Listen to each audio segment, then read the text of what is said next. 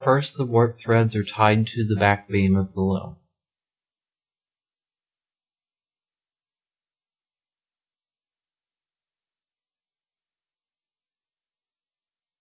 Then each section is wound to the predetermined length for your project.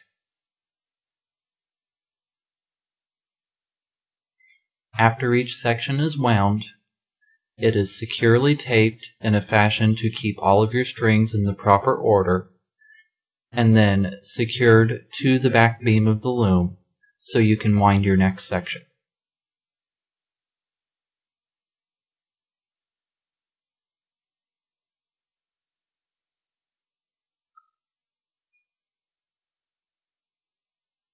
Then a hook is used to pull each individual thread through the wire heddles located on the harnesses of your loom.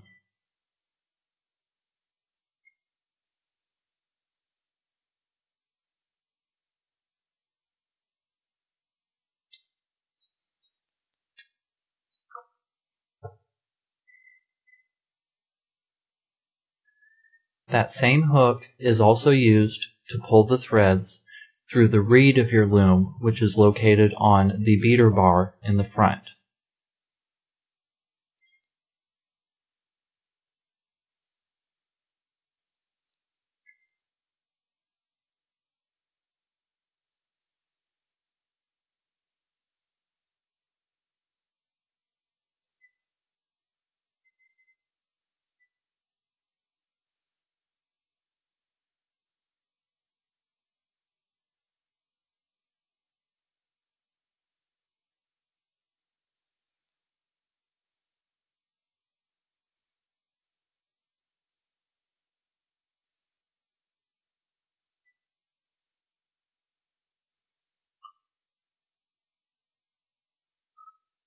Once all of your threads are in place, you can begin weaving your weft material, alternating harnesses with each pass.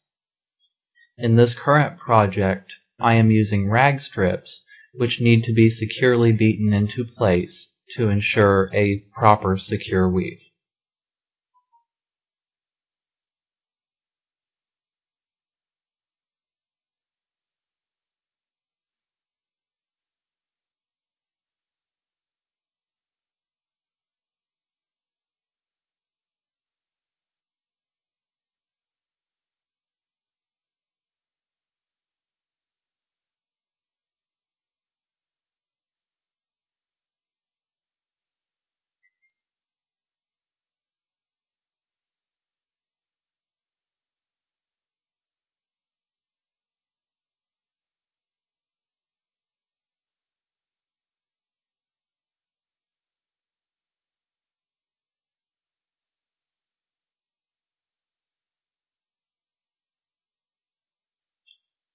Finish the rug, it is cut off of the loom at both ends.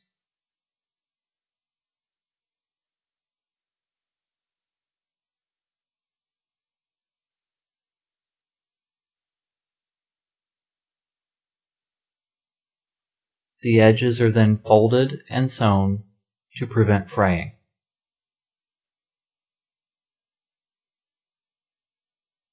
Next, the selvage is cut off from the rug,